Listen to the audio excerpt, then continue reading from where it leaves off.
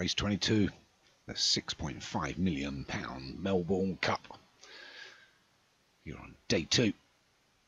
Week 13, the final week. So it's a two mile Group 1 handicap as we're fully aware. Number one, Mickey Blue Eyes, Paul Rose. Two, Polar Leaf for Del Hinton. Three, Stelioso for Darren Thompson. Four, Wait Your Turn for Joshua Sutherland. Five, Pine Barrens and Wally at Surfer laid out for this race. Six, Orpheus for Django. Seven, Your Turn to Wonder, Joshua Sutherland. Eight, Frostbite for Django. Nine, Quatre for Paul Rhodes. Ten is Stadio Olympico for Darren Thompson. Eleven is I Say Goodbye Bye now from Wally at Surfer. 12, Lee Meg for Del Hinton. 13, Rising Eagle for Dave Robertson. 14, Big Fine for Obi-Wan. 15, Christmas Fur for Graham. High Constable was Carl Arroganti. I think Carl Arroganti was another horse, but they're already away. If you're drawn wide, you know how tough this race can be. Wait for it to settle down really yeah, this horse here, Big Fine, would like to get over towards the fence, but doing really well is High Constable, or Hay Constable, shall I say.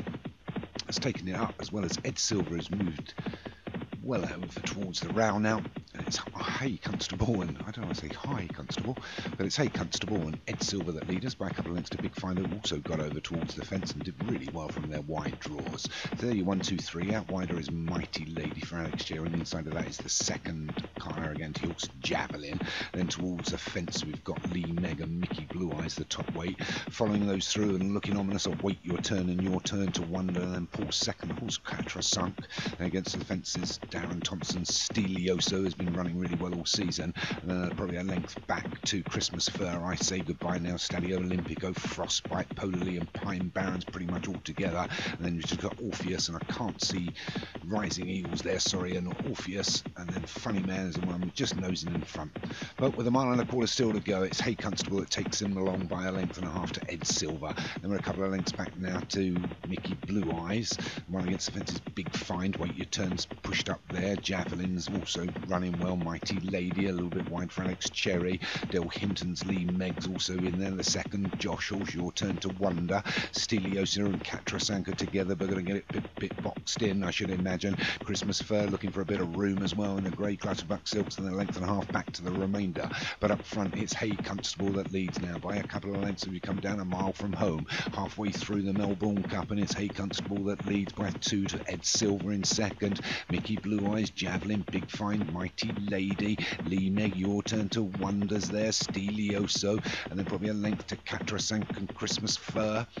Back over against towards the rail now, pushing through his Orpheus in the rear of the pack with Frostbite, Stadio Olimpico, Rising Eagle, I say goodbye now, Pine Barrens, widest, Polar Lee, and just Funny Man comes into shot with six furlongs to go, and it's Hay Constable, going to be joined by a wall of horses, which are being led now by Big Find against the fences, Ed Silver, but it's Wait Your Turn, pushing through as well, they're all waiting and waiting ominously to catch this leader, Hay Constable, that leads by a length now now. Just a big find. Ed Silver against the fence. On the outside of that is Lee Meg. A few of them being pushed along now, but it's still Hay Constable running on really well from out of the pack comes Graham's. Oh no! Your turn to Christmas Fur, but as they line up with three and a half furlongs to go, there's a little bit more of the bend to come, and it's Orpheus and Hay Constable. These two now taking on Christmas Fur out wide. Pine Barrens, the one that had been laid out for it, but it's Orpheus of Django that leads us with two and a half furlongs to go. It's Orpheus from Pine Barrens Your turn to wonder out wide. I say goodbye.